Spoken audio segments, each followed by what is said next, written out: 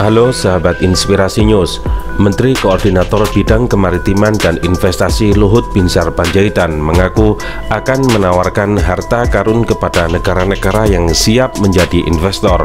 Salah satunya yang akan ditawari adalah Amerika Serikat. Dia mengaku investor yang sudah siap mengembangkan harta karun di Indonesia adalah Cina. Namun dirinya tidak ingin menyerahkan ke negeri tirai bambu ini demi menjaga iklim investasi nasional. Ini kita juga memang dilematis karena rare earth kan paling banyak diproduksi di Tiongkok. Amerika sendiri begitu dependent oleh Tiongkok itu kelabakan juga. Nah, investor yang paling cepat sekarang itu Tiongkok. Nah, kalau kita semua kasih Tiongkok nanti semua mental kata Luhut dalam acara investasi di tengah pandemi secara virtual Sabtu 25 Juli 2020.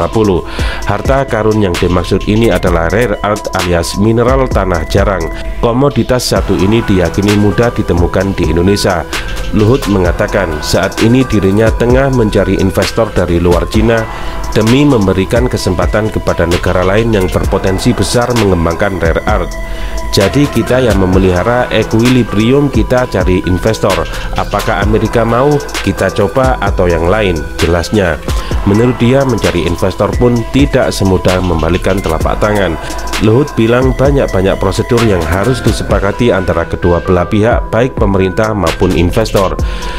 Jadi kita harus menilai nasional interest kita. Tidak sekedar hanya terima orang datang investasi. Tidak begitu ceritanya. Ada perhitungan strategi kita Pertimbangan geopolitik sebelum memutuskan itu dan seberapa banyak yang akan kita berikan. Nggak akan kita berikan semua, ungkapnya. Dari catatan pemberitaan detik.com, pasir timah yang biasa diekspor ilegal dari Bangka Belitung merupakan tempat untuk menemukan harta karun ini. Di dalam pasir timah mengandung mineral tanah jarang. Tanah jarang juga disebut memiliki harga yang tinggi, bahkan bisa dijual hingga 10 kali lipat lebih tinggi dibanding timah itu sendiri.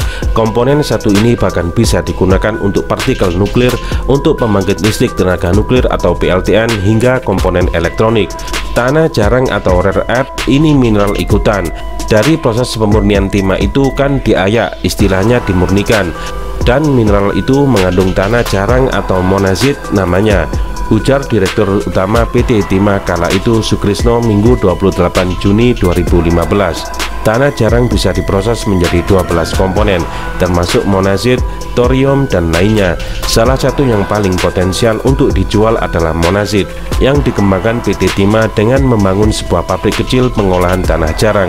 Melihat potensi besarnya, Badan Geologi Kementerian atau ESDM akan melakukan survei potensi rare earth alias tanah jarang. Survei ini akan dilakukan tahun depan.